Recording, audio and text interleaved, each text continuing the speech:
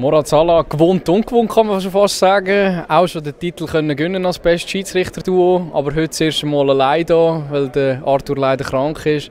Ähm, was erzählst du ihm nach dem Tag oder nach dieser Auszeichnung, ähm, wenn du mal ist nachher?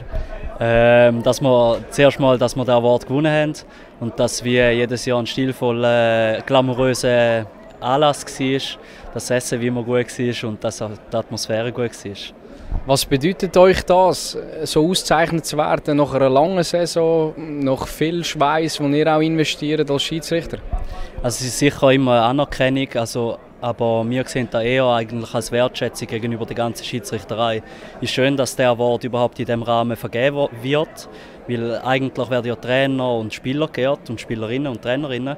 Und ähm, es ist für uns als Schiedsrichtergilde oder Schiedsrichterfamilie ist das sicher schön, dass wir auch einen Part in diesem ganzen Anlass verdienen Tut das auch irgendwo durch die Ambition für die kommenden Jahre äh, aufpeppen und sagt man dann äh, jetzt erst recht, äh, wir wollen noch weiterkommen, wir wollen noch besser werden?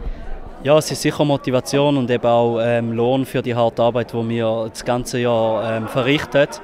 Und wir haben noch hohe Ziele. Wir haben noch Weltmeisterschaften von den Männern, wo wir auch wichtige Spiele pfeifen in der Champions League, Männer, Frauen und auch die Olympiade. Das ist sicher auch ein Fernziel. Gibt es im Rückblick ein Highlight, das man sagen kann von dieser Saison?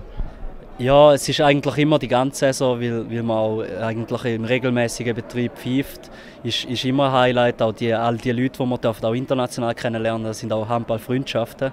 Aber wenn ich jetzt auf ein Highlight rausstreiche, dann wäre das sicher das Champions League Viertelfinale in Nantes.